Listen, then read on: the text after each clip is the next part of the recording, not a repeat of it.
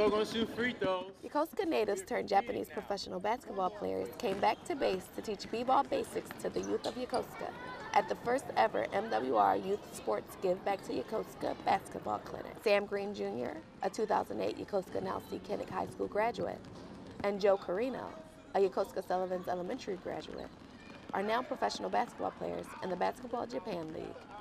I just really thought that I wanted to come back home. I just thought that it would be more productive for me to really give back to the kids. So when I got the call, I just thought that this is something I really wanted to do. Love for the game gives them the advantage on the court. But at the clinic, their passion for giving back and making a difference was on full display.